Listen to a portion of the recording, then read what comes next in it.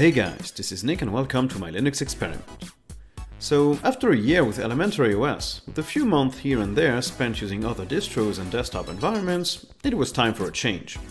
My newer build didn't get the performance levels I was expecting from it on that system, so I decided to go with Manjaro, which has been highly recommended. I selected the Budgie edition since I don't know these very specific DE. Manjaro Budgie Manjaro is an Arch derivative, first released in 2011, and following the rolling release model, which means that there are no new versions, you install it once, and you just update it as it comes. Manjaro has three official releases, coming with GNOME, KDE and XFCE, and also has a few more unofficial community-maintained versions, such as the Budgie, Cinnamon, Mate, LXDE or Deepin versions. Manjaro has its own repositories, but can install packages from the Arch user repositories, which is also called the AUR. Installation For convenience, I decided to fully erase my disk and only install Manjaro. The installer was fast, good looking and easy to follow, and I encountered no specific hardware related problems. Everything was detected and ran as intended, from the Ryzen 5 CPU to the AMD Radeon RX 580 or the 16GB of RAM in my machine. Manjaro has a specificity I hadn't encountered before. It asks, at installation, for a user password as well as a specific root password. You can make them both the same, but by default it will ask for two different ones. Apart from that, the installer was familiar and worked great. The desktop. Manjaro ships with a custom Budgie desktop, with a top panel hosting the main menu, a task manager slash app shortcuts hybrid, and the notifications panel, as well as a quick access to Raven, a Budgie side panel. The default wallpaper is nice, but weirdly, once you've changed it, you cannot set it back, it just doesn't appear in the wallpaper list. And that's all for Budgie, no desktop icons, no app dock, no activities view or plasmoids, Budgie is a very simple desktop experience, and Manjaro did not change that. They kept it as light and legible as possible. The Raven side panel, which you can bring by clicking on its icon in the top panel, hosts your notifications grouped by application and a few applets, such as a calendar or an audio player. I could not find a way to extend its functionality by adding other applets though. And that's the point and the problem with Budgie it seems. It is simple and clean, but it lacks a clean implementation of Virtual Desktop. They are here, but apart from keyboard shortcuts you wouldn't know that. No overview mode to see all of your open windows at a glance, and a very basic Alt-Tab switcher. Now this might be the community-shipped version of Budgie that is included with Manjaro, maybe the default Budgie installation, such as what you would find on Solus, is more complete, but on Manjaro Budgie it was very very simple, maybe too simple. Performance by default, Manjaro Budgie is about as resource intensive as any other distro I've ever tried, using 1.2GB of RAM out of my 16. It's similar to GNOME, KDE or Deepin or even Elementary OS. CPU seems lower though, staying around 1-2% when idle compared to Elementary OS which could easily go up to 5 or 6% just with Gala, its window manager. I must say, in use, I didn't notice any difference in snappiness between Manjaro Elementary OS, which I used before. Apps open quickly, maybe a tad quicker on Manjaro, but nothing too noticeable. I never got any slowdowns or freezes, which is good as well. All in all, performance isn't too different from other distributions I tried. For more details on how the system behaved while playing games on Steam and rendering videos, I'll direct you to the video in the top right corner of the screen which has a more complete rundown of everything. Default applications. Here is where things started to go wrong. Manjaro Budgie ships with a ton of applications. Like a lot, probably more than Mint, which already went overboard in my opinion. Amongst these you'll find great choices such as Firefox, Nautilus for the file manager or transmission.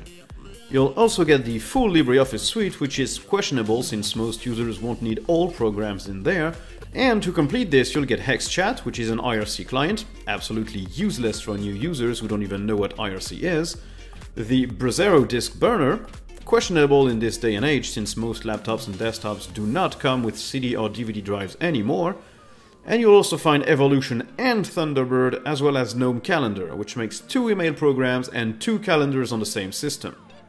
You also get the Lollipop music player, which looks good and simple, as well as Timeshift for backups and Steam, and a crap ton of configuration utilities for Qt applications, for HP printers, etc. etc. This is way too much. I know you can install any of these, but is it easy though? No, it's not. Manjaro Budgie comes with the PAMAC package manager, which has its advantages such as showing libraries as well as applications, and its drawbacks, mainly that it's cumbersome and opens a ton of pop-ups every time you try to install something. It is pretty slow to install, and its install category is near useless, since there is no way to filter graphical programs or libraries. Package installation. This brings us to app installation. With PAMAC, you can get access to Manjaro's repositories, as well as the AUR, with a quick trip in the app's preferences. This means that almost any software that can run on Linux will be available natively through these archives. Sure, the deb packages are more mainstream and you'll likely find a deb or PPA for any program, but through Manjaro's repos and the AUR, you will not be wanting for much. Installation is easy, even though it's not very legible for a Linux newbie. Just check the checkbox near what you want to install and click Apply. PAMAC will even prompt you to install optional dependencies to let you choose, which is a nice touch, but again absolutely too complicated for a newcomer. PAMAC also handles updates, which are presented per package. I still prefer the way Elementary OS handles its updates, with system updates grouped in a system category and other graphical apps being clearly identified, but I guess Manjaro went with the package manager route rather than the software center, Settings. Manjaro Budgie uses the default GNOME settings app, which is not surprising since Budgie is largely based on GNOME. This means that not much is configurable apart from what GNOME deems option worthy, which is not much. Budgie adds its own settings panel, oddly set apart from the GNOME settings and available through the app menu or through Raven. It offers options to change the look and feel of widgets, icons and cursors, as well as enabling the dark theme and animations. You can also change the fonts and font sizes, and configure a few things in Raven, such as showing or hiding each widget. Window management features are also present, with the ability to detach modal dialogues from windows, change the button layout, which doesn't seem to work on apps with header bars, enable the tiling features, or center the new windows on the screen. Finally, you can configure your panels, this is where you can really tweak how Budgie works, with the ability to create new panels, change the edge of the screen they sit on, allow transparency, auto-hiding, change their size, or use a dock mode to use as little space as possible. Combine this with the different applets you can use, ranging from a simple app menu to note-taking, accessing folders, enabling workspace switching, time tracking, or showing the weather, and you've got quite a configurable desktop.